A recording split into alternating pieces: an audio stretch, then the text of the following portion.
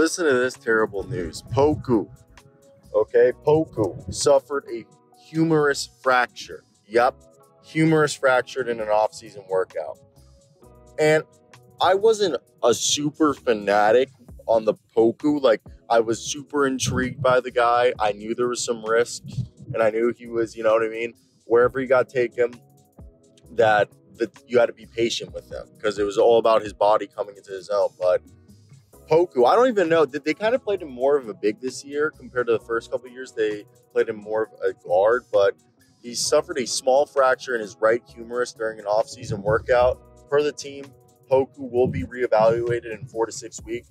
And Poku is coming off somewhat of a lost season. He played in only 34 games in his third year due to various injuries. The most serious injury was a non displaced fracture in his left tibial pl- plateau. And that injury caused Poku to miss bulk of the second half of the season. And he's a seven foot potential unicorn. Either he's a wing, a forward, or a center at this point who has one season left on his rookie contract. And Poku is extension eligible, this offseason, but it's unclear if he has a future with the team. I, again, guys, I'm a big Poku fan, always have been, will continue to be one. But I'll be the first one to admit that I was caught off guard by this injury.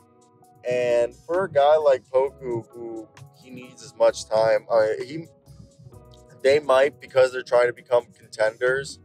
They might end up trading him to I don't even know who's rebuilding at this point. By the way, because every rebuilding team is right now being as if they're contending next year. That's how they're treating this offseason.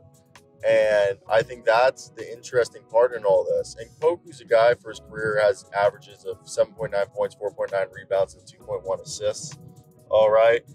And what's interesting is that this year was his best P player efficiency rating and his stats per game. Okay.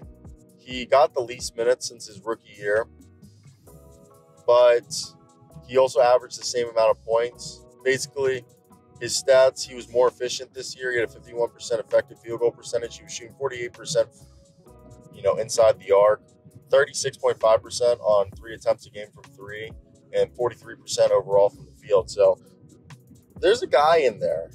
Just we need to figure out what position he plays, and I feel like he could get unlocked. But let me know. Let me know. I'm curious. But yeah, this is unfortunate.